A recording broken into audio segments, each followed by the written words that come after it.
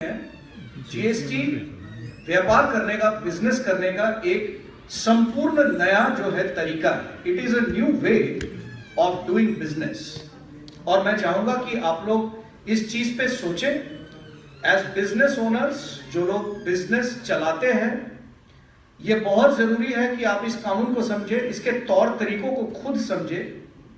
और सिर्फ़ अपने चार्टर्ड अकाउंटेंट या अपने टैक्स कंसल्टेंट पे ही रिलाई ना करें। ये इस चीज़ में आपकी भलाई है, ये इस चीज़ पे आपको फ़ायदा होगा। तो इसको सीखना जो है बहुत ज़रूरी है। इसके बाद हम बात करेंगे इस कानून का जो आपके बिज़नेस पे जो है क्या इंप्लीकेशन है। ये आपके बिज़नेस को कैसे इंपैक्ट करेगा।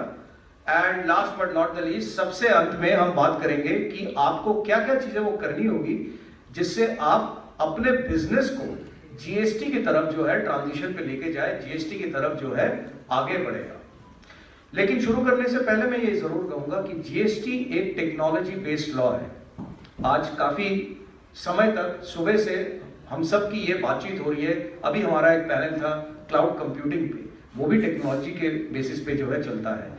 लेकिन जीएसटी एक कंप्लायंस का ऐसा कानून है जो फुल्ली टेक्नोलॉजी बेस्ड है।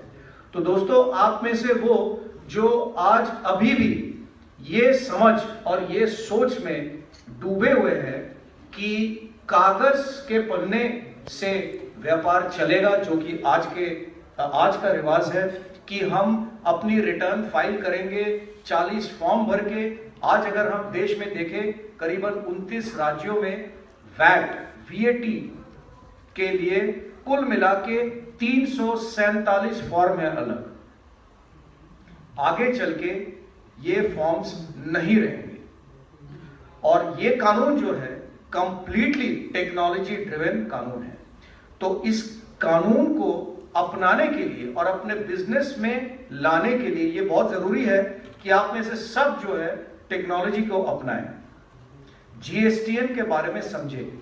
और ये समझे कि ये कानून जो है टेक्नोलॉजी कैसे यूज़ करता है आपके बिज़नेस को कंप्लाई करने के लिए।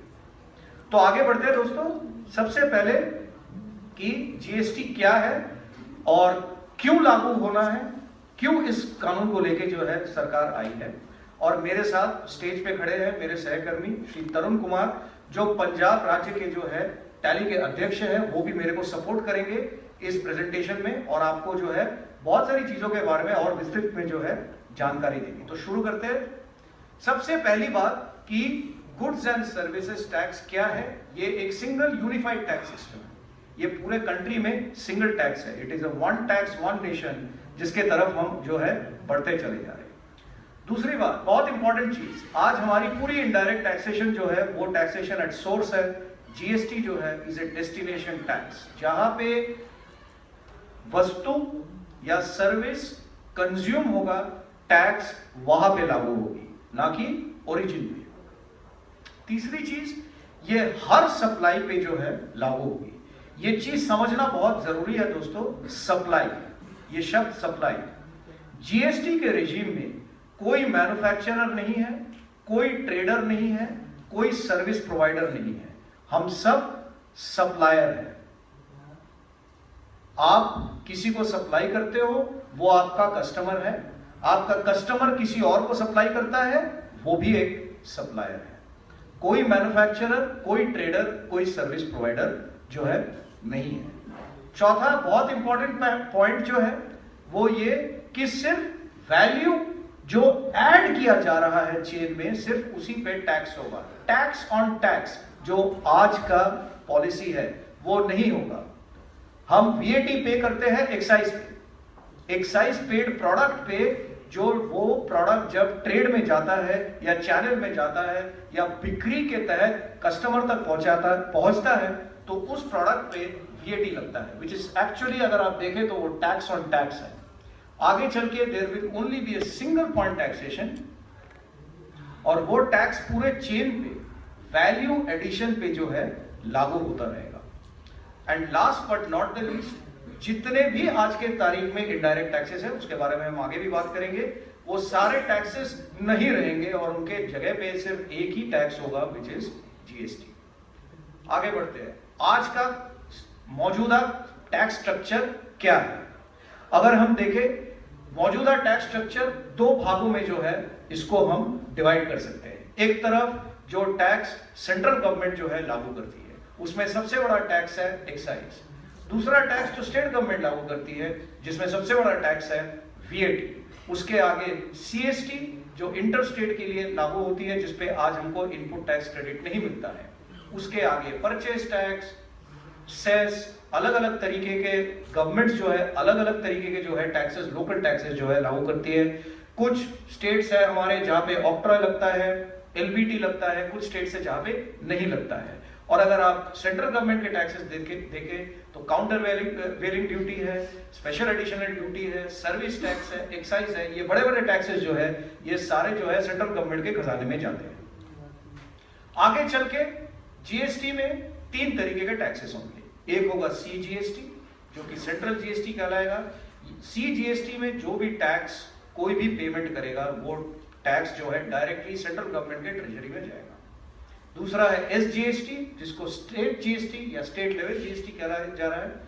वो कर जो है, वो कर सीधा डायरेक्टली जाएगा स्टेट जो राज्य है। जैसे पंजाब में हम आज बैठे हैं, पंजाब के ट्रेजरी में ये टैक्स जो है जाएगा। और एक तीसरा बहुत इंपॉर्टेंट टैक्स जो है, इस स्लाइड पे आप देख रहे हैं, जिसका नाम है आईजीएसटी आईजीएसटी का मायने हुआ इंटीग्रेटेड जीएसटी इंटीग्रेटेड जीएसटी का क्या मतलब है? इंटीग्रेटेड जीएसटी लागू होगा इंटरस्टेट सप्लाईज लेकिन इसकी खासियत क्या है? खासियत यह है कि आज तक हम इंटरस्टेट सप्लाई करते आए हैं सीएसटी पे। सीएसटी का रेट जो है कम सरकार ने इसलिए रखा है ताकि वो इनपुट टैक्स क्रेडिटेबल ना हो। और आज व्यापारी सीएसटी को जो है अपने खर्चे में लेके चलता है, अपने कॉस्ट स्ट्रक्चर में जो है लेके सीएसटी आगे बढ़ता है।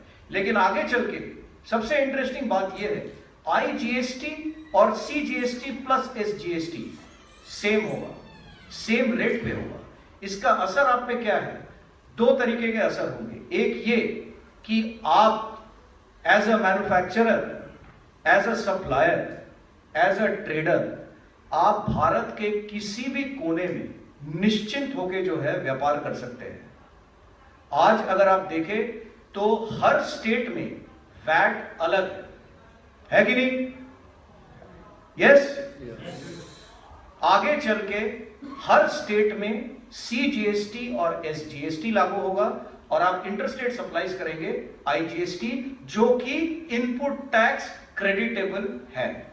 तो आपके चेन में इंटरस्टेट सप्लाईज में जो भी आगे का वैल्यू एडिशन होगा, उसका क्रेडिट आपका बिज़नेस जो है अवेल कर सकता है। आपका बिज़नेस और ज़्यादा जो है कॉम्पिटेटिव हो जाएगा। तो ये बहुत इंपॉर्टेंट चेंज है सीजीएसटी एसजीएसटी और आईजीएसटी में। इसके आगे हम चलते हैं कि सीजीएसटी में कौन से जो है टैक्सेस इंक्लूड हो जाएँगी एसजीएसटी में कौन से टैक्सेस इंक्लूड होंगे और आईजीएसटी में क्या है। तो ये ज़्यादा मुश्किल नहीं है इसको समझना। सीजीएसटी में मतलब मिसाल के तौर पे अगर देखी जाए तो ऑब्वियस है कि जो सेंट्रल गवर्नमेंट की टैक्सेस है वो सारी जो है सीजीएसटी में जो है सब्ज्यूम हो जाएगी। जो स्टेट लेवल की जो टैक्सेस है वो सारे स्टेट जीएसटी में जो है सब्ज्यूम हो जाएगी। और जो इंटर स्टेट वाले जो ट्रांजेक्शन के लिए टैक्सेस है CST being the biggest one सबसे बड़ा जो है उसमें सीएसटी है, वो सब्ज्यूम हो जाएगा आईजीएसटी राइट इसके आगे चलते हैं कि determination of charge determination of charge का क्या मतलब हुआ? कि सी सीजीएसटी कब लागू होगा एस एसजीएसटी कब लागू होगा और आईजीएसटी कब लागू होगा? तो एक बड़े ही सिंपल से डायग्राम से हमने कोशिश करा है आपको इस चीज़ को समझाने के लिए कि मिसाल के तौर पे अगर आप पंजाब के बिजनेसमैन हो, पंजाब में आपका फैक्ट्री है, पंजाब में आपका वेयर हाउस है, पंजाब में आपकी मैन्युफैक्चरिंग यूनिट है, पंजाब में आपका इंपोर्ट का जो है कारोबार है, जो भी है तो प्लेस ऑफ़ सप्लाई दोस्तों, बहुत अहमियत रखती है। Place of supply and place of sale GST के रेजिम में आगे चल के आप देखेंगे कि प्लेस ऑफ़ सप्लाई बहुत बहुत इंपॉर्टेंट होने वाला है। क्यों? क्योंकि अगर आपका place of supply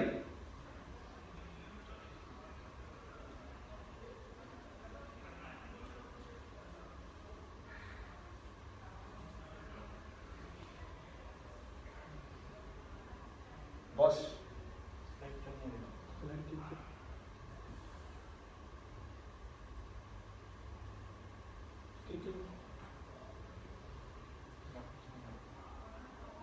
graphics नहीं आया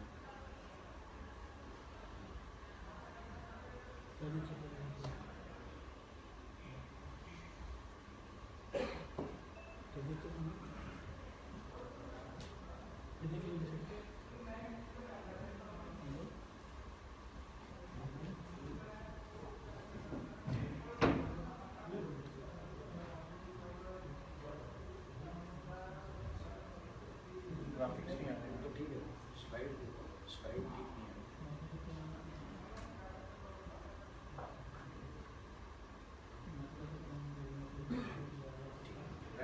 इसी में तो सीजीएसटी और एसजीएसटी की बात कर रहे थे हम लोग। तो सीजीएसटी और एसजीएसटी जो है, ये लागू होता है इंट्रा स्टेट सप्लाईज में।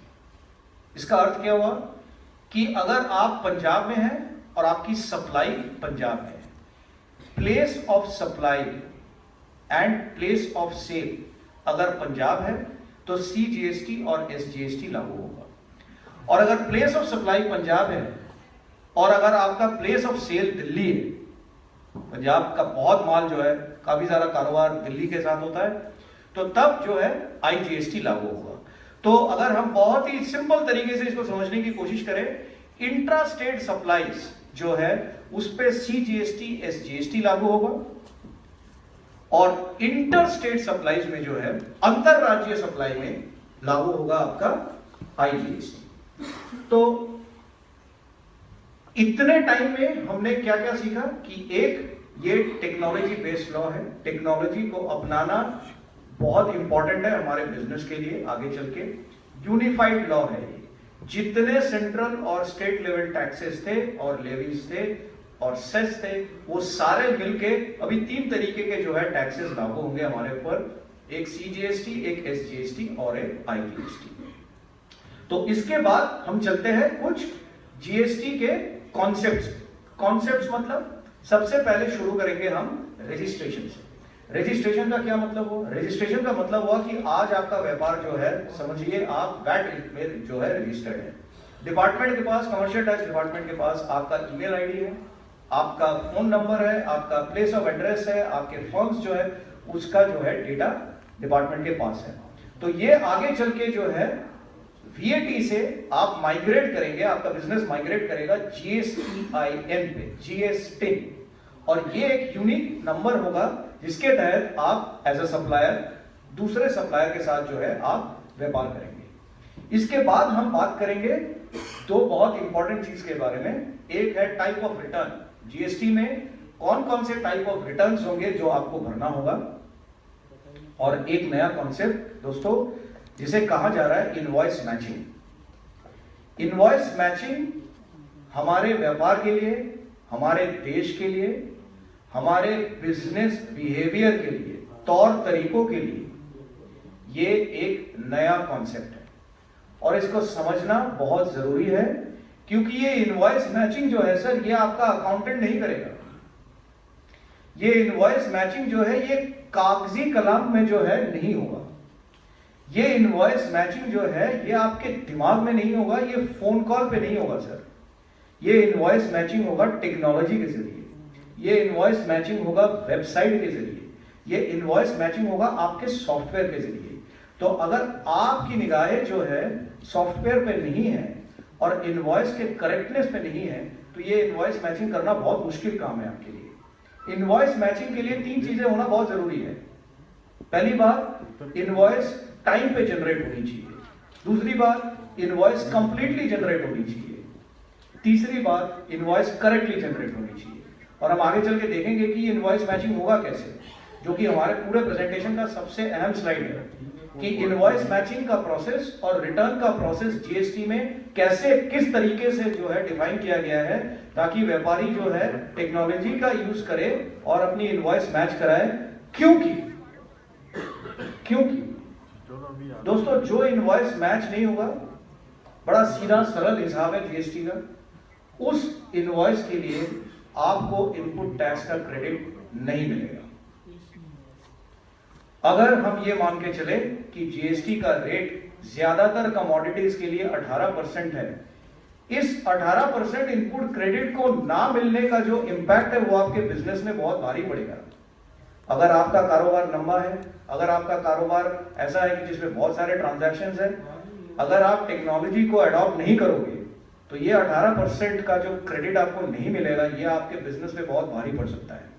तो इनवॉइस मैचिंग एक नया कॉन्सेप्ट है, इसको समझेंगे आप, थोड़ा और विस्तृत जानकारी हम देंगे। And last but not the least input tax credit यहाँ पे बैठे शायद सभी लोग जो है input tax credit avail as sale VAT और एज वीएटी और whatever even for the case of service tax लेकिन दोस्तों, ध्यान रखिए, एक बहुत इंपॉर्टेंट चीज़।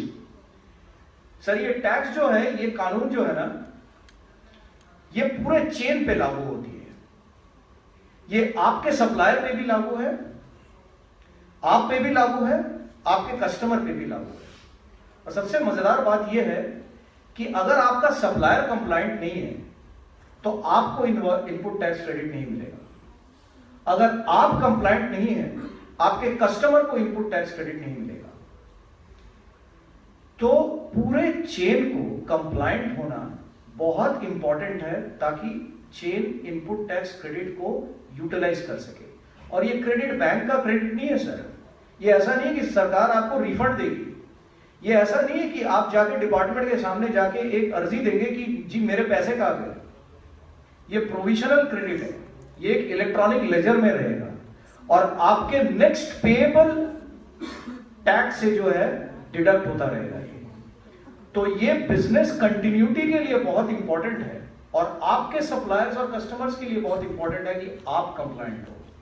और आपके कंप्लायंस और इनपुट टैक्स क्रेडिट के लिए और भी इंपॉर्टेंट है कि आपका सप्लायर जो है कंप्लायंट हो। तो थोड़ी सी बातें हम करेंगे ये सारे टॉपिक्स पे। सबसे पहले हम चालू करेंगे रजिस्ट्रेशन पे। सरकार का यह मानना है कि अगर आपका बिज़नेस अगर आपका बिज़नेस समझिए कि नॉर्थ ईस्ट स्टेट में है और 26 नवंबर के बाद एक नोटिफिकेशन नया भी आया है कि तीन और स्टेट इसमें ऐड हो गए हैं, हिमाचल, उत्तरांचल और जे तो अगर आपका बिज़नेस 10 लाख के ऊपर का है एग्रीगेट बिज़नेस मतलब आपके फॉर्म 20 हो सकते हैं, लेकिन अगर बीसों का जो है टर्नओवर 10 लाख के ऊपर है तो आपको जीएसटी में कंपल्सरीली जो है रजिस्टर करना पड़ेगा। बाकी राज्यों में ये वैल्यू जो है 20 लाख है। अगर आप, आपका एग्रीगेट टर्नओवर 50 लाख से ऊपर है तो सरकार आपको बोल रही है कि आप एज ए रेगुलर डीलर जो है, खुद को रजिस्टर करें not as a composite dealer registration का प्रोसेस क्या है? रजिस्ट्रेशन का प्रोसेस ये है कि हर स्टेट में रजिस्ट्रेशन का एक नोटिफिकेशन आएगा, अखबारों में आएगा, आपकी ईमेल आईडी में आएगा। बहुत हमारे छोटे व्यापारी है, आपके सप्लायर्स होंगे वेंडर्स होंगे, जिनके साथ आप काम करते हैं, जो खुद जो है ईमेल इस्तेमाल करना नहीं जानते हैं, वो अपने टैक्स कंसल्टेंट या अपने चार्टर्ड अकाउंटेंट से जो है अपना सारा टैक्स का कारोबार जो है आज के तारीख में उनका चल रहा है। दोस्तों, ध्यान रखिए कि डिपार्टमेंट आपसे ईमेल के ज़रिए जो है कम्युनिकेट करेगी। और ये बोलना बहुत आसान है, लेकिन हकीकत में ये बात होती नहीं है। लोग अपना ईमेल एक्सेस नहीं करते। हैं लेकिन आगे चल के डिपार्टमेंट आपको एक मौका दे रही है कि आप अपना जो है बिज़नेस डेटा डिपार्टमेंट में अपडेट करें, ताकि the department can stay in touch with you आपके साथ कांटेक्ट में डिपार्टमेंट रह सके, ताकि आप टाइम पे जो है रिटर्न अपना फ़ाइल करें। क्योंकि टाइम पे रिटर्न फ़ाइल नहीं करेंगे, उसका भी एक जो है इम्प्लीकेशन है आपके बिज़नेस में दूसरी बात की जो भी आपके अलग अलग अगर समझ लीजिए कि बिजनेसेस अलग अलग हैं राइट आप फॉर एग्जांपल आपकी मैन्युफैक्चरिंग भी है, आपकी ट्रेडिंग भी है, या आप दो अलग अलग तरीके की जो है बिज़नेस करते हो। कहीं पे आप साइकिल पार्ट्स का बिज़नेस करते हो तो कहीं पे आप कपड़े का बिज़नेस करते हो। तो इनको सरकार कंसिडर करेगी एज बिज़नेस वर्टिकल और हर बिज़नेस वर्टिकल का जो है, एक अलग जो है रजिस्ट्रेशन आपको करना पड़ेगा। अगर आपके पाँच मुल्कों में, पाँच प्रांतों में अलग अलग ऑफ़िस है, उनकी रजिस्ट्रेशन अलग होगी उस स्टेट में। राइट और अगर आपका बिज़नेस का टर्नओवर जो वहाँ पे लिमिट्स हमने दिखाए थे 10 और 20 लाख वाले, उसके नीचे अगर हो तो रजिस्ट्रेशन आपके लिए जो है ऑप्शनल होगा। सरकार आपको ये आगे पकड़ेगी नहीं कि आप जो है ज़बरदस्ती जो है जाके रजिस्ट्रेशन कराएँ। अब एक बहुत इंपॉर्टेंट चीज़ की ये जीएसटीआई नंबर एक्चुअली है क्या? और ये समझना भी बहुत इंपॉर्टेंट है कि दोस्तों जीएसटीआई नंबर जो है, इसमें तेरह डिजिट है। जिसमें बीच के आठ डिजिट अगर आप देखें, वो आपके पैन नंबर से जुड़ा हुआ है। वो आपके पैन नंबर से जुड़ा हुआ है। जो लास्ट थ्री डिजिट्स है, वो जीएसटीएन के सिस्टम जनरेटेड डिजिट्स होंगे और जो पहले दो कोड है, वो पंजाब का कोड है। राइट तो आपका पैन नंबर अपडेटेड होना चाहिए ताकि आपका जीएसटीएन नंबर जो है ऑटोमेटिकली अपडेटेड हो जाए। पिछले साल सारे डिपार्टमेंट्स जितने भी कमर्शियल टैक्स डिपार्टमेंट्स है सभी कमिश्नर्स को बोला गया था कि पैन नंबर जो है रिवैलिडेट करवाएँ। आई एम श्योर कि मैं कॉन्फिडेंटली uh, कह सकता हूँ कि आप में से बहुत लोगों ने जो है अपना शायद पैन नंबर भी जो है दोबारा डिपार्टमेंट से जो है डिपार्टमेंट के साथ मिलके जो है अपने वैलिडेशन करवाया। छोटे व्यापारियों ने तो बहुत पैमाने में जो है वैलिडेशन करवाया। इस वैलिडेशन का एक ही मकसद था कि जब पैन नंबर और जीएसटीएन नंबर एक यूनिक कोड होगा बिज़नेस का। इसी पे जो है रिटर्न्स आपकी कैलकुलेट की जाएगी। तो पैन नंबर का अपडेशन जो है हमारे लिए बहुत इंपॉर्टेंट है। ये एनरोलमेंट शेड्यूल है। आज ही मैं आते आते जो अखबार में पढ़ रहा था कि ये डेट्स जो है, जैसे पंजाब का डेट मेरे ख्याल से लास्ट के दो जो हफ़्ते थे, दिसंबर के, उसमें जो है रजिस्ट्रेशन चालू हुई थी। और रजिस्ट्रेशन का क्या मतलब है कि आपको इंटीमेशन आएगा डिपार्टमेंट से कि आइए और जो है यूज़र नेम और अपना पासवर्ड दीजिए। और लेने के बाद gstn.gov.in जो वेबसाइट है, उसमें जाके थोड़ा सा लॉगिन करके देखिए कि आपके डिटेल्स जो है बिज़नेस के डिटेल सही है कि नहीं। ये काम आज भी जारी है। बहुत ऐसे स्टेट्स हैं जहाँ पे रिस्पांस व्यापारियों से बिजनेसेस से कुछ ज़्यादा जो है इंकरेजिंग नहीं रहा है। ज़्यादा पैमाने में लोग नहीं आए इसको करते हुए। तो आज ही मैं पढ़ रहा था कि काफ़ी ऐसे स्टेट गवर्नमेंट्स है जिनका ये डिसीज़न हुआ है कि भाई इसको और एक्सटेंड कर दिया जाए और इसका प्रचार हो ताकि रजिस्ट्रेशन और बढ़े। लेकिन बहुत इंपॉर्टेंट है दोस्तों कि आप अपने चार्टर्ड अकाउंटेंट को कंसल्ट करें, आप अपने टैक्स प्रैक्टिशनर को कंसल्ट करें और ज़रूर जीएसटीआई नंबर जो है आप अप्लाई करें और उसको ईमेल के ज़रिए आप चेक करें। थोड़ा सा टाइम हम स्पेंड करेंगे इस टॉपिक पर। थोड़ा सा महत्वपूर्ण टॉपिक इसलिए है क्योंकि मैं बार बार एक चीज़ आपको बोलता आ रहा हूँ जीएसटीएन जीएसटीएन का मतलब है जीएसटी नेटवर्क ये जीएसटीएन असल में है क्या ये बेसिकली एक पोर्टल है, ये एक वेब पेज है। आपका सारा, आपका तो क्या पूरे भारत वर्ष का इनडायरेक्ट टैक्स का डेटा जो है, वही जीएसटीएन पोर्टल में जो है फ्लो करे। ये तो बहुत बड़ा सिक्योरिटी रिस्क हो सकता है। तो सरकार का ये मानना है कि हम एज गवर्नमेंट ऑफ़ इंडिया व्यापारियों को बिजनेसेस को ऑन्टरप्रनर्स को कंपनीज़ को एनकरेज नहीं करना चाहते कि वो डायरेक्टली आके जीएसटीएन से इंटरेक्ट करें। तो सरकार ने क्या सोचा कि बिज़नेस और जीएसटीएन के बीच में एक लेयर जो है उन्होंने क्रिएट करा, एक सर्विस एंटिटी उन्होंने क्रिएट करा, जिसको कहा जाता है जीएसटी सुविधा प्रोवाइडर शॉर्ट में जीएसपी तो जीएसपी का काम क्या रहेगा सर? अगर आप आज जीएसटीएन के पोर्टल में जाएँगे, चौतीस कंपनियाँ, साढ़े चार सौ कंपनी ने जो है एप्लीकेशन डाला था, उसमें से चौतीस कंपनियाँ जो है उनको क्वालिफाई किया गया है एज जीएसपी तो जीएसपी का सबसे अहम काम क्या रहेगा? जीएसपी का काम यह रहेगा कि आपका जो टैक्स का डेटा है, वो जीएसटीएन तक पहुंचाना, आपका रिटर्न आप तक पहुंचाना, आपके पैसे जीएसटीएन तक पहुंचाना और आपका जो रिटर्न फ़ाइल होगा, उसका चलान जो है आप तक पहुंचाना। ये जीएसपी का काम होगा लेकिन ये काम बहुत भारी भरकम है। क्यों? क्योंकि अगर आप ट्रांजैक्शन वॉल्यूम देखें और अगर आप फाइनेंशियल एक्यूरेसी के पॉइंट ऑफ़ व्यू से देखें तो ये जीएसपी का काम बड़ा सेंसिटिव काम है सर आगे चल के आप में से सब लोग जो है, कोई ना कोई जीएसपी को आप लोगों को सिलेक्ट करना पड़ेगा चूज़ करना पड़ेगा। तो जीएसपी को जो है, ध्यान से चुनिए। कौन सा जीएसपी क्या सर्विस प्रोवाइड कर रहा है, उसको ज़रूर समझे। अखबार जीएसपी के वेबसाइट पे जाके ज़रूर समझे कि वो क्या सर्विसेज़ प्रोवाइड कर रहे हैं और उसके बेसिस पे जो है, आप जीएसपी को चुने। लेकिन ये मॉडल है, इस तरीके से जो है जीएसटी काम करेगा हमारे कंट्री में। एक सॉफ्टवेयर होगा सॉफ्टवेयर से डेटा निकल के जाएगा जीएसपी पे जीएसपी से डेटा निकल के जाएगा जीएसटी पे। आगे चलते हैं।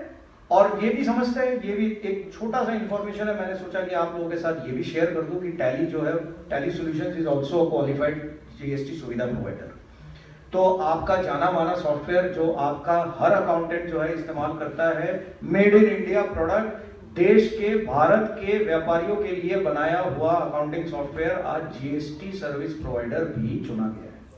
तो हमारे लिए बहुत फखरे की बात है, बहुत गर्व की बात है। आगे चलते हैं और समझते हैं कि टाइप ऑफ़ रिटर्न्स तो टाइप ऑफ़ रिटर्न्स में ये थोड़ा टेक्निकल मामला है तो हमारे जो एक्सपर्ट है यहाँ पे खड़े हुए तरुण जी।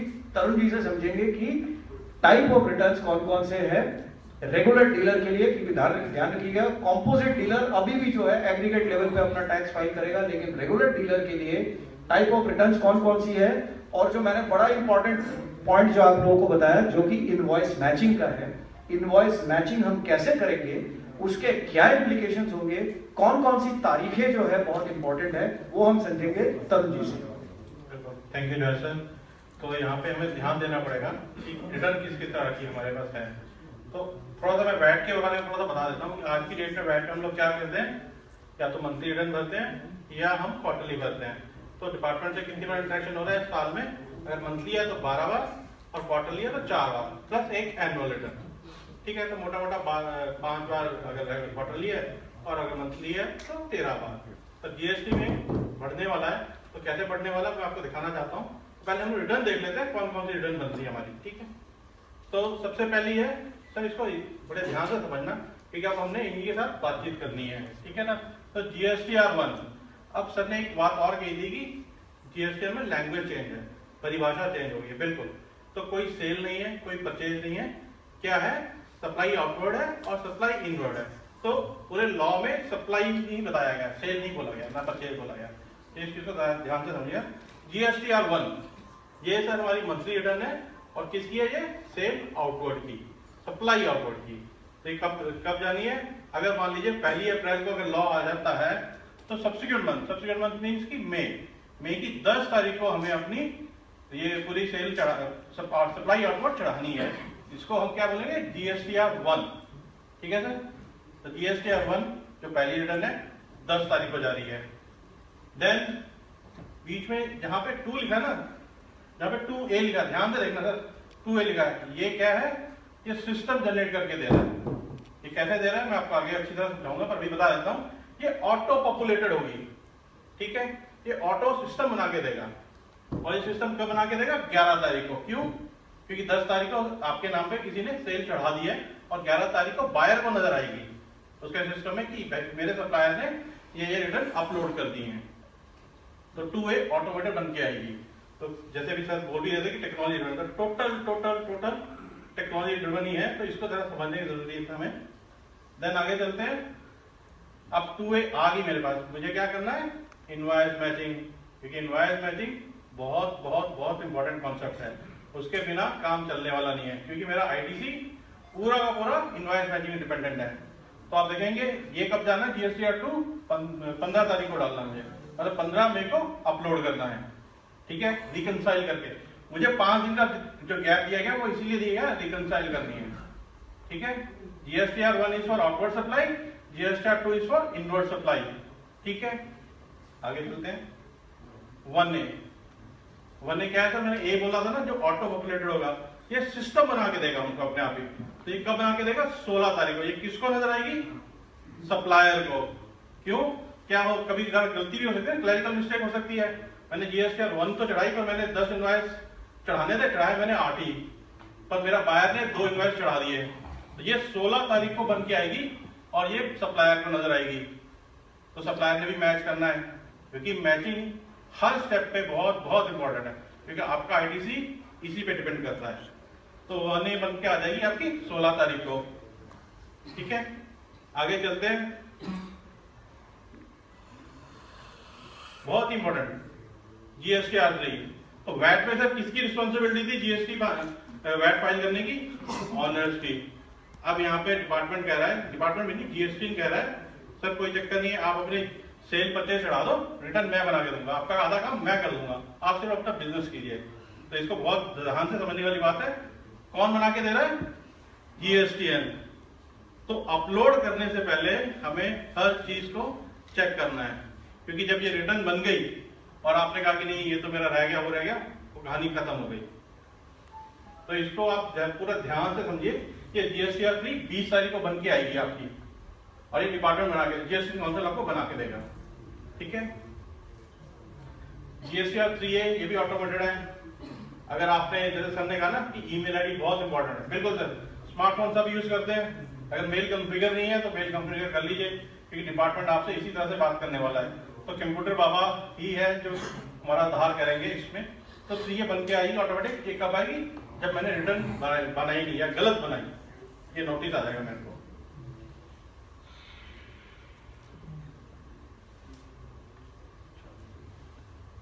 जीएसटीआर नाइन है ये एनुअल रिटर्न है। ये अगर अप्रैल फ़र्स्ट को आ जाता तो 2018 दिसंबर में मुझे फ़ाइल करनी होगी। तो कितनी रिटर्न होगी सर कोई बता सकता है? मैंने ये रिटर्न बताई है। कितनी होगी सर? सर ये मंथली बात कर रहा हूँ मैं। कितनी होगी सर? थर्टी। सेवन बिल्कुल सर बिल्कुल बहुत बढ़िया सर। तो थर्टी सेवन रिटर्न होगी आपकी। अभी कितनी बात कर रहे थे हम लोग? पाँच कर रहे थे अगर क्वार्टरली है मंथली तो बारह या तेरह तेरह बात कर रहे थे। अब हो गया थर्टी सेवन कैसे सर? तीन महीने की होगी है, छत्तीस, और एक एनुअल रिटर्न तो थर्टी सेवन बार। तो इंट्रैक्शन लेवल देखिए सर, कितना बढ़ गया है। दस तारीख को आपने पंद्रह तारीख, बीस तारीख। ये तो याद करनी पड़ेगी। इंट्रैक्शन देखिए सर। इंट्रैक्शन कंप्यूटर बाबा तो कंप्यूटर सही बात होनी है, सब कुछ, सारा कुछ टेक्नोलॉजी ड्रिवन ही है। तो ये पूरा का पूरा ही होने वाला है और आप सबको, अभी जैसे सर ने फिर कहा है फिर से एक बार बोलता स्मार्टफ़ोन सबके पास है ईमेल कॉन्फ़िगर कर लीजिए, क्योंकि बात उसी से होनी है। आपकी मेल आएगी मेल पे ही आपने जवाब देना, सब कुछ। तो एक एग्जांपल जो पूरा टेक्नोलॉजी जो अभी समझाने की कोशिश की ना, किस तरह जवाब तो मैंने एक एग्ज़ाम्पल बना रखा है। इस एग्ज़ाम्पल को समझना बहुत ज़रूरी है कि पूरा का पूरा ज्ञान आ जाएगा हमें टेक्नोलॉजी का। क्या टेक्नोलॉजी डेवलप करने वाली है पूरी जीएसटी में? तो हम एक एग्जांपल लेते हैं। हम लोग क्या समझ, अपने आप को यहाँ पे जितने भी लोग हैं, जितने भी लोग हैं यहाँ पे, एक सुपर कार लिमिटेड का बिज़नेस का काम कर रहे हैं। एक और चीज़, कोई भी मैन्युफैक्चर नहीं है, कोई ट्रेडर नहीं है, कोई सर्विस प्रोवाइडर नहीं है। सब क्या है सर बिल्कुल सर बिल्कुल। सर, बात करते रहेंगे ना तो बढ़िया रहेगा। नहीं तो इंट्रैक्शन डाउन हो जाता है। टाइम कम है, फिर जल्दी करने की करूँगा। तो हम सब सुपर कार का काम कर रहे हैं। ठीक है सर सुपर कार लिमिटेड का हम काम कर रहे हैं। अब मेरा सप्लायर सप्लायर भी है। तो रत्ना स्टील है मेरा सप्लायर है। ठीक है सर? तो मान लीजिए फ़र्स्ट अप्रैल को हम लोग बिज़नेस कर रहे हैं। नॉर्मल रूटिंग में बिज़नेस कर रहे हैं। तो सर एक इन्वाइस कटा छह नंबर का एक लाख बीस एक लाख की लिमिट है और बीस हज़ार मैंने इसमें जीएसटी लगा हुआ है। ठीक है? वैसे आपको रेट पता सर जीएसटी का क्या रेट है? किसी को? नहीं पता सर मैं बता देता हूँ। वैसे तो मैंने बीस परसेंट लिया है यहाँ पे बीस परसेंट है नहीं कैलकुलेशन के लिए लिया मैंने। आसानी हो जाती है। एटीन तो मैं बता देता हूँ five percent twelve percent eighteen percent और ट्वेंटी एट परसेंट है। ये चार रेट्स हैं। मैंने बीस परसेंट लिया, बीस परसेंट रेट नहीं है। ठीक है सर? बुक्स आ गई। तो सर, परिभाषा चेंज है। तो बुक्स में कौन सी रजिस्टर होंगे हमारे पास? सेल परचेज रजिस्टर नहीं होंगे। कौन रजिस्टर होंगे? आउटवर्ड सप्लाई रजिस्टर और इनवर्ड सप्लाई रजिस्टर ठीक है सर? अब इन्होंने एक मैच भेजा। और इस तरह मैं थोड़ा जल्दी कर देता हूँ कि इन्होंने चार इन्वाइस भेजे। ठीक है सर? मेरे से ग्राफिक्स काम नहीं कर रहे हैं। इसमें वही अपना लैपटॉप करना लैपटॉप चेंज करना। क्योंकि ये समझना बहुत ज़रूरी है और ये ग्राफिक्स चल नहीं रहे इसमें। नहीं आ रहा प्रॉपर देखना ये कनेक्ट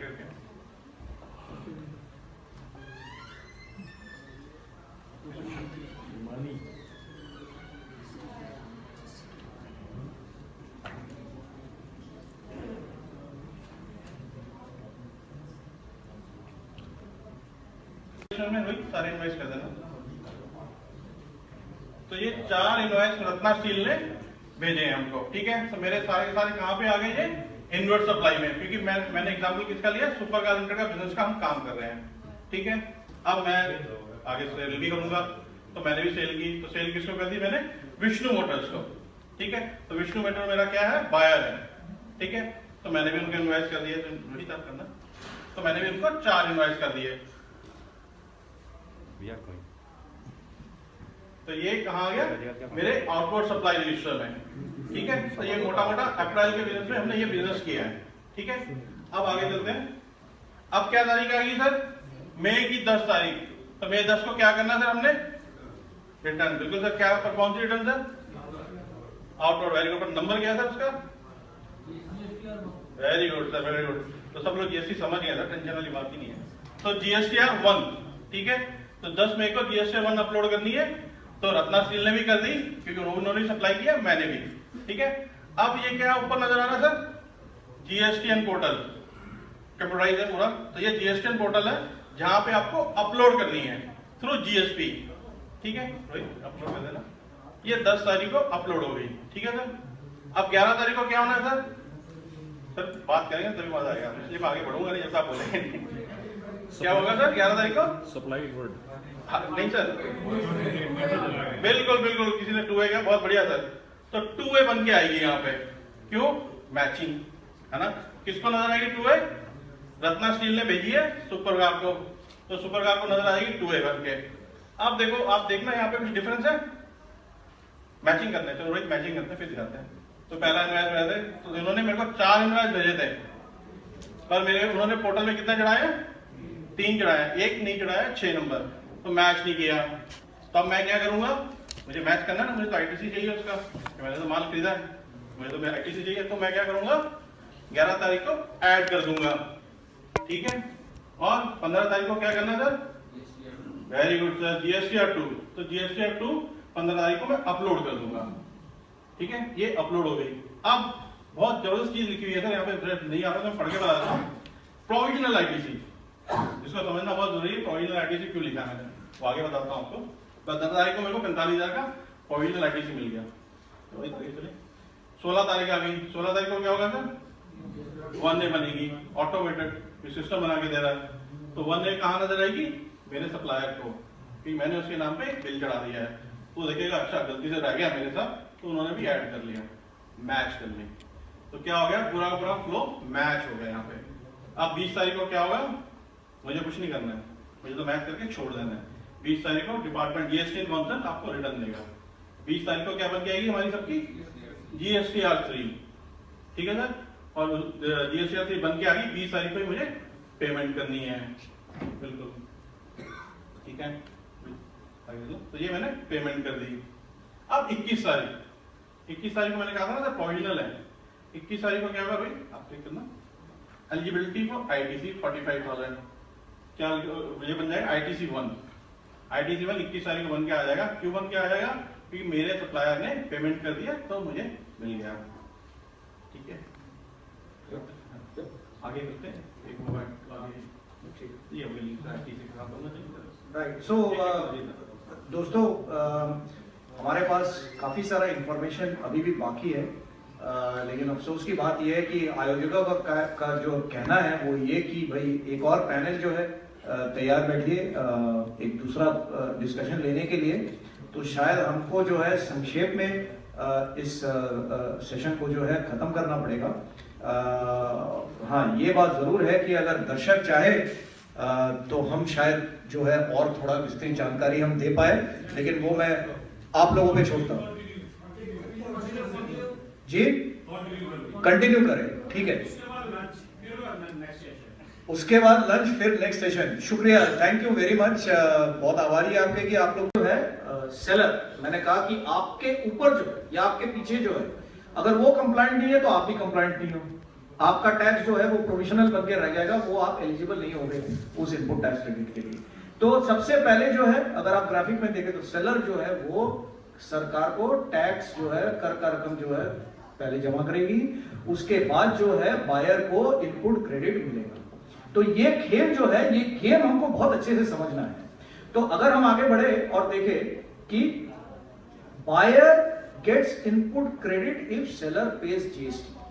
इसका क्या मतलब हो कि कस्टमर को तभी इनपुट क्रेडिट मिलेगा जब सप्लायर, जो प्राइमरी सप्लायर है, वो जो है जीएसटी में कर का रकम जमा करता है। लेकिन इसमें खास बात यह है कि बायर या कस्टमर को तभी मिलेगा जब सप्लायर जो है जीएसटी का रकम भरेगा। नहीं तो उसको नहीं मिलेगा।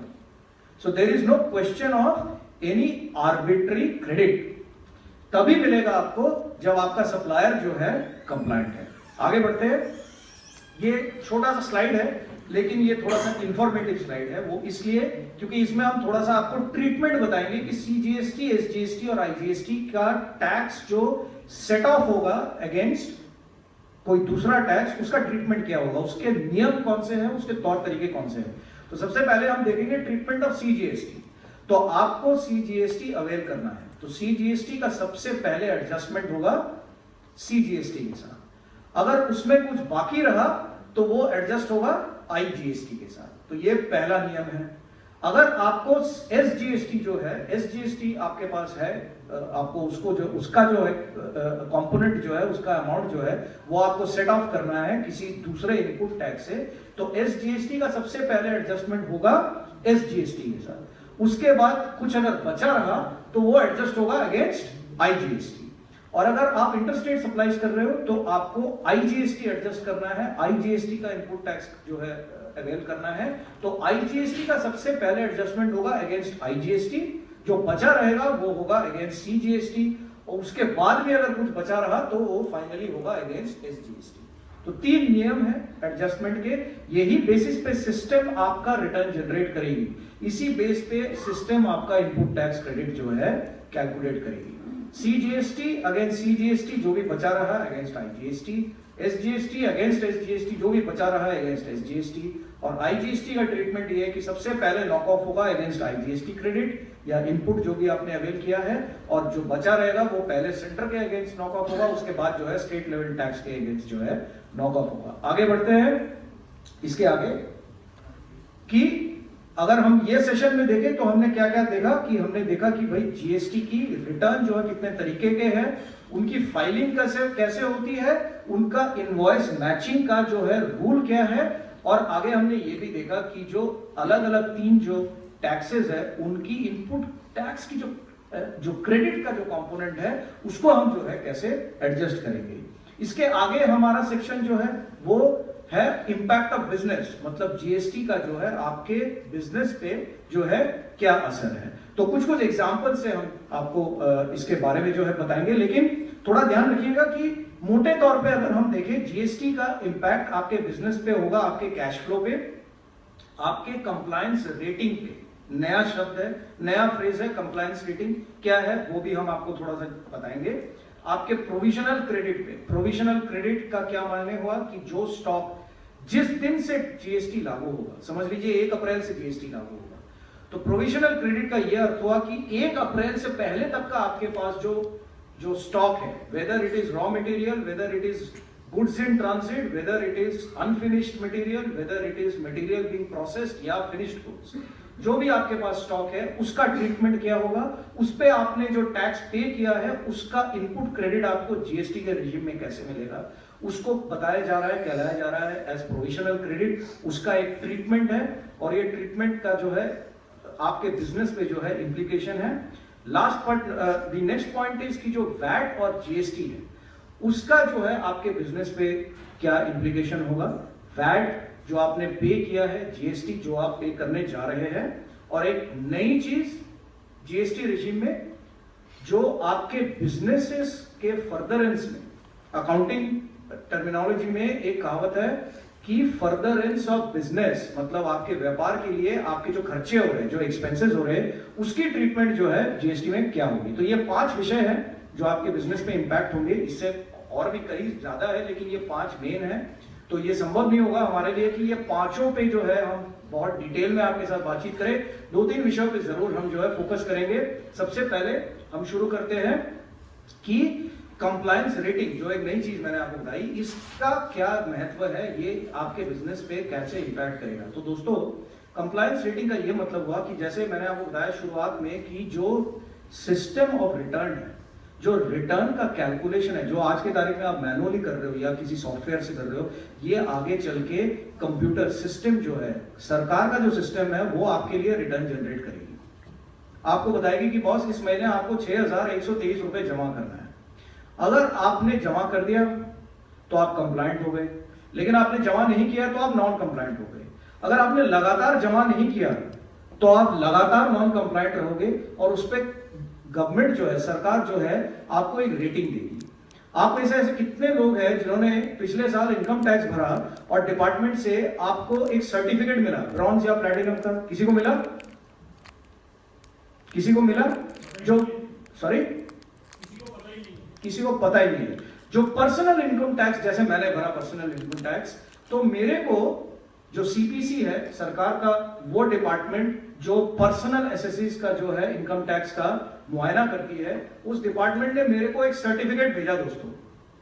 बड़ा अच्छा लगा कि भारत के नागरिक होने के, के नाते एक सर्टिफिकेट मेरे को मिला सरकार से कि आप कंप्लायंट हैं। आपने कर भरा है। और उसके लिए सरकार के तीन तरीके के सर्टिफिकेट्स हैं। एक ब्रॉन्ज है, एक सिल्वर है और एक प्लैटिनम है। तो डिपेंड करता है कि आप कौन से टैक्स स्लैब में है, उसके बेसिस पे सरकार ने आपको जो है इंटीमेशन दिया हुआ है। कंपनी मेरे को तनख्वाह देने के टाइम पे टीडीएस काट के जो है तनख्वाह देती है। आज मेरे मोबाइल फ़ोन में हर तीन महीने में जो है डिपार्टमेंट से मेरे को एक एसएमएस मिलता है कि पिछले तीन महीने में आपके कंपनी ने आपके खाते में इतना टीडीएस जमा किया है। ये सारी चीज़ें पहले नहीं थी सर। तो जीएसटी के पोर्टल पे आपके फर्म के नाम की एक रेटिंग होगी जितनी अच्छी रेटिंग आपकी, उतने ज़्यादा सप्लायर और कस्टमर आपके साथ डील करेंगे। अगर आप नॉन कंप्लायंट हो तो आपकी रेटिंग कम होगी। कम से कम लोग आपके साथ व्यापार करना चाहेंगे। तो ये आपके कंट्रोल में है कि आप अपनी कंप्लायंस कैसे मैनेज कर रहे हो। जितनी स्मार्टली जितने प्रोफेशनली और जितना टेक्नोलॉजी का इस्तेमाल करके आप अपना कंप्लायंस मैनेज करोगे, उतनी अच्छी आपकी रेटिंग होगी। ध्यान रखना रेटिंग के मामले में मैंने तीन चीज़ें बताई थी। करेक्टनेस मतलब संपूर्ण तरीके से सही सही रिटर्न दूसरी बात टाइमली समय पर रिटर्न भरना। और तीसरी बात कंप्लीट रिटर्न आपकी कंप्लीट होनी चाहिए। आधा अधूरा रिटर्न आप नहीं भर सकते हो। अगर सरकार आपको बोल रही है कि छह हज़ार एक सौ तेईस रुपए भरना है, आप सोचो कि नहीं नहीं, इसको राउंड ऑफ़ करके भर देते तो वो काम नहीं चलेगा। आपकी रेटिंग कम हो जाएगी। तो नॉन कंप्लायंस एक बहुत जो है इंपॉर्टेंट इंपैक्ट है आपके बिज़नेस में आगे बढ़ते हैं और देखते हैं कि रजिस्ट्रेशन आपका जो है, अगर आप लगातार जो है नॉन कंप्लायंट रहेंगे तो आपकी जो जीएसटी एंड रजिस्ट्रेशन है, वो भी कैंसिल हो सकती है। तो बहुत इंपॉर्टेंट है दोस्तों कि ये रजिस्ट्रेशन और टाइमली रिटर्न फाइलिंग हमारे बिज़नेस के लिए बहुत जो है इंपॉर्टेंट है। हम फ़ायदे में रहेंगे अगर हम कंप्लाइंट रहेंगे तो। आगे चलते हैं। ये एक विषय है जो शायद हमसे ज़्यादा chartered accountant community Rajiv ji बैठे यहाँ पे। उनके नॉलेज में शायद ये जो है उनके डोमेन में है, उनके एक्सपर्टीज में जो है ये टॉपिक है। लेकिन थोड़ा सा मैं वक्त ज़ाहिर करूँगा आपका इस टॉपिक के बारे में थोड़ा चर्चा करने के लिए। मोटे तौर पे कैलकुलेशन बड़े सिंपल है नंबर पे मत जाइएगा।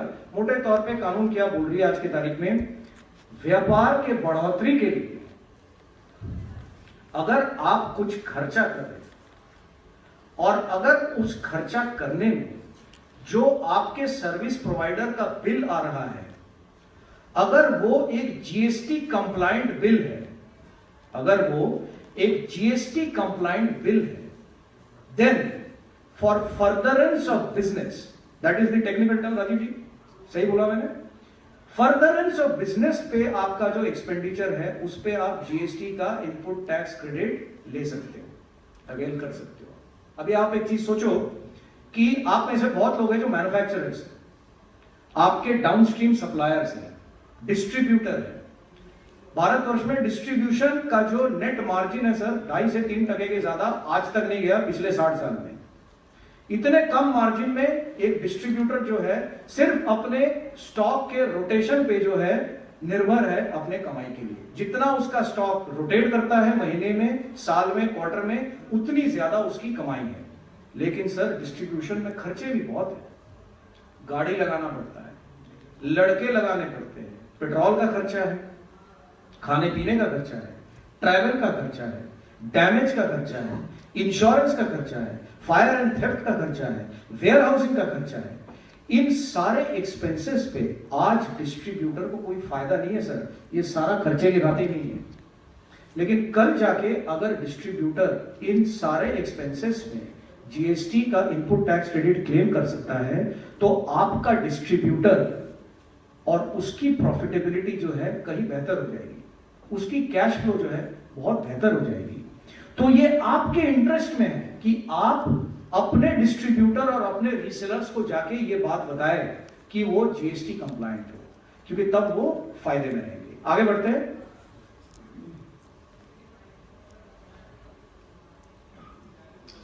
ये बात मैंने पहले भी छेड़ी कि आईटीसी ऑन क्लोजिंग स्टॉक बहुत सारे हमारे दोस्त यहाँ पे मौजूद है। लुधियाना जैसे शहर में बहुत हमारे जो है मैन्युफैक्चरिंग सिटी है ये तो आप में से बहुत लोग जो है मैन्युफैक्चर करते हैं। आपके पास फिनिश गुड्स रॉ मटेरियल बहुत सारे अलग अलग तरीके के जो है कंपोनेंट्स स्पेयर पार्ट्स वगैरह आप जो है कैरी करते हो। तो दोस्तों, इसमें सिर्फ़ एक छोटा सा पॉइंट है जो मैं आपको बताना चाहूँगा कि आपको उसी स्टॉक पे इनपुट टैक्स क्रेडिट मिलेगा जिसकी आपने अकाउंटिंग करी हो with proof of supply in the last twelve months पिछले बारह महीने में जितनी भी आपकी स्टॉक इन्वर्ट हुई है, जिसके लिए आपके पास इनवॉइसेस मौजूद है परचेज इनवॉइसेस सिर्फ़ उसी पे जो है, ये इनपुट टैक्स क्रेडिट आपको जो है, मिलेगा। तो दोस्तों, तैयारी जीएसटी की क्या है? तैयारी ये है कि स्टॉक पे नज़र रखे स्टॉक के एजिंग पे नज़र रखे। वो चंद रिपोर्ट निकाले जो आपके स्लो मूविंग इन्वेंट्री को आइडेंटिफाई कर सके। वो रिपोर्ट में ज़रूर गौर फरमाए, जो स्टॉक जो है, आपका डैमेज पड़ा है अनसोल्ड पड़ा है, पुराना स्टॉक है, लेते आए हो, चलते आए हो, आप कौन से गोडाउन में पड़ा है, आपको वो भी पता नहीं है। कल आपको ये इंफॉर्मेशन बहुत ज़रूरी पड़ेगा और इसका इंफॉर्मेशन का सही उपयोग जो है, आपके लिए बहुत इंपॉर्टेंट है। आगे बढ़ते हैं। तो हम कह रहे हैं कि, दोस्तों इंप्लीकेशन मोटे तौर पे क्या है? कि आपके, आपका बिज़नेस चेंज कैसे होगा? चेंज इस तरीके से होगा कि सर रेटिंग देख के आपके सप्लायर कस्टमर के पास भी जो है एक चॉइस हो जाएगी। उनके सामने भी जो है सरकार जो है एक चॉइस प्रोवाइड करेगी कि भाई ये फोर स्टार बिज़नेस है, ये टू स्टार बिज़नेस है। अब चॉइस आपकी है, आपको किसके साथ जो है व्यापार करना है। It is as simple as that sir तो कंप्लाइंट होइए टेक्नोलॉजी को अपनाइए अपने बिज़नेस प्रोसेसेस को अपडेट कीजिए ऑटोमेट कीजिए और बहुत इंपॉर्टेंट बात अकाउंटिंग स्टैंडर्ड्स को इंप्लीमेंट कीजिए। अकाउंटिंग स्टैंडर्ड्स सिंगल एंट्री का जमाना गया सर बिल्टी का जमाना गया। ट्रांसपोर्टर को बगैर इनवॉइस का माल देने का जमाना गया। अभी हर चेन को इनपुट टैक्स क्रेडिट के बगैर पूरा चेन आपका जो है अनकॉम्पिटिटिव हो जाएगा। अगर आपका बगल वाला व्यापारी 18 परसेंट का इनपुट टैक्स ट्रेड अवेल कर रहा है और आप नहीं कर रहे हो, आपकी प्राइसिंग आपकी कॉस्टिंग सफ़र करेगी। तो ये तौर तरीके हमको बदलने होंगे। आगे चलते हैं। तो ये हमने सीखा कि बिज़नेस पे आपका क्या इम्पैक्ट है। काफ़ी सारे पाँच छह पॉइंट्स मैंने बताए, सारे पॉइंट्स हमने जो है डिटेल में नहीं देखा, लेकिन input tax on tax credit on expenses और रेटिंग वाली बात जो है, उस पर हमने थोड़ा सा टाइम स्पेंड किया। ये हमारा लास्ट सेक्शन है कि एज ए बिजनेसमैन व्यापारी होने के नाते हमको क्या करना चाहिए जीएसटी के लिए तैयार होने के लिए? तो हमारे पॉइंट्स इसमें क्या है? सबसे पहली बात कि ऑब्वियसली आपको कंप्लाइंट होना है। उसके बाद कि आपको जो कंप्लाइंट आपके सप्लायर्स और आपके कस्टमर्स जो है, आपको उनको भी एनकरेज करना पड़ेगा टू बिकम कंप्लाइंट और इसमें एडुकेशन बहुत इंपॉर्टेंट है। अगर आप मैन्युफैक्चरर है और अगर आपके 60 वेंडर है और 600 सप्लायर है तुरंत उनको बुलाइए। उनसे बात कीजिए। उनको कानून समझाइए। दोस्तों ये एक इतना बड़ा चेंज है ये एक इतना बड़ा चेंज है कि हमने वैट के टाइम पे भी जो है कई आ, आ, आ, जो है वक्ता यहाँ पर बोल के गए कि टैली जो है वैट के टाइम पे भी जो है व्यापारियों को हमने बहुत हेल्प किया है लेकिन हम दावे के साथ आपको कह सकते हैं कि सर छोटे व्यापारी मध्यम वर्गीय जो व्यापारी है हमारे देश के अगर उनको हमने जाके एडुकेट नहीं किया अगर उनको जा, हमने जाके जो है इस बात इस जीएसटी के कानून के बारे में सही विस्तृत जानकारी अगर हमने नहीं दिया तो उनका बिज़नेस बंद हो जाएगा sir there business will come to a standstill इस बात को हमें समझना जो है बहुत इंपॉर्टेंट है। आगे बढ़ते हैं। तो आज हमको क्या करना चाहिए कि अगर हमको जीएसटी में जो है ट्रांजिशन करना है तो सबसे पहले हमें बुक्स ऑफ़ अकाउंट और जो रिटर्न फ़ाइल कर रहे हैं हम, उसकी एक्यूरेसी जो है हमको बिल्ड करनी पड़ेगी। इसके आगे कि हमारे जो टैक्स क्रेडिट्स है, उसकी डिटेल्स जो है, हमारे स्टॉक एग्जिस्टिंग स्टॉक की अकाउंटिंग जो है, करना हमारे लिए बहुत ज़रूरी है। और टैक्स फाइलिंग के टाइम टैक्स तीन चीज़ मैंने बताया कंप्लीट एक्यूरेट एंड टाइमली आगे बढ़ते हैं कि ये लास्ट पॉइंट को थोड़ा सा आप नोटिस करें। कि GST is a transaction level tax ये समझना हमारे लिए बहुत इंपॉर्टेंट है। ये कंसोलिडेटेड टैक्स नहीं है। आज हमारे छोटे व्यापारी अगर उनकी टर्नओवर 20 लाख है तो टैक्स भरने से पहले वो टैक्स कंसल्टेंट को फ़ोन करते हैं कि इस महीने कितना भरना है। जब आप एक इनवॉइस लेवल कंप्लायंस सिस्टम की तरफ़ आप जा रहे हो तो ये समझना हमारे लिए बहुत इंपॉर्टेंट है कि हमारी इनवॉइस की एक्यूरेसी जो है, आज से बहुत अधिक जो है होनी चाहिए और बेहतर होनी चाहिए। आज हमारे व्यापार का क्या नियम है? सप्लायर हमको इनवॉइस देता है, वो इनवॉइस कहा जाता है? दराज में जाता है फ़ाइल में जाता है। इनवॉइस की एंट्री होती है। इनवॉइस की एंट्री होती है इनवॉइस एंटर नहीं होता है सर इनवॉइस की एंट्री होती है। और जिस, और एक खाते में नोट किया जाता है कि इसकी पेमेंट डेट कब है। सप्लायर हमको फ़ोन करता है, तीन बार, चार बार, उसके बाद एक चेक बनता है, या तो कंसोलिडेटेड चेक या बिलवाइज चेक वो चेक जो है सप्लायर को जाता है। सर मैं दावे के साथ आपको कह सकता हूँ, ये हमको तरीका बदलना पड़ेगा। We have to shift to the accrual system of accounting जहाँ पे हमको इनवॉइसेस को रियल टाइम में प्रोसेस करना पड़ेगा। क्यों? क्योंकि आपका सप्लायर इनवॉइस रेस करते ही जो है, उसको अपलोड कर रहा है जीएसटीएन के सिस्टम में। तो अगर आप उसको फ़ाइल या दराज में डाल के बैठ जाएँगे साठ दिन के लिए तो काम नहीं चलेगा। आपका इनपुट टैक्स क्रेडिट जो है, आप अवेल नहीं कर पाओगे। तो आपको, आपका परचेज इनवॉइस जो है रियल टाइम में आपको प्रोसेस करना पड़ेगा। आगे चलते तो इसके लिए सॉफ्टवेयर का एडॉप्शन जीएसटीएन का अंडरस्टैंडिंग और डेटा का जो इंटरेक्शन होगा जीएसटीएन के साथ, ये समझना हमारे लिए बहुत ज़रूरी है। तो बहरहाल, दोस्तों, मेरे ख्याल से भूख सभी को बहुत ज़बरदस्त लगी है।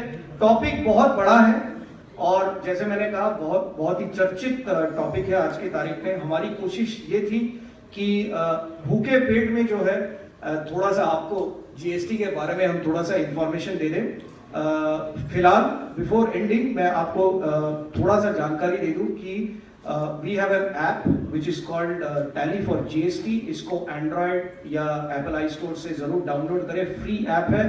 Uh, इस ऐप में आपको uh, दो अलग अलग चीज़ों की जानकारी मिलेगी। अगर आपको जीएसटी के बारे में पढ़ना है तो हम रेगुलरली ब्लॉग्स के ज़रिए लोगों को एडुकेट करने की कोशिश कर रहे हैं और वही ब्लॉग जो है जीएसटी के ऐप में आपको दिखेगा।